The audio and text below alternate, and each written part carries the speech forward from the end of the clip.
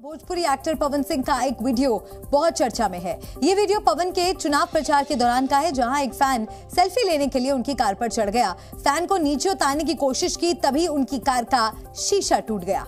पवन Karakat seat से निर्दलीय चुनाव लड़ रहे हैं। तो ये तस्वीर आप देखिए, उनकी गाड़ी का शीशा किस तरह से टूट गया इस तस्वीर को देखा जा सकता है। दरअसल उनका एक फ़ैन उनके साथ सेल्फी लेने की कोशिश कर रहा था, जिस वक्त वो अपने चुनाव प्रचार के लिए निकले हुए थे।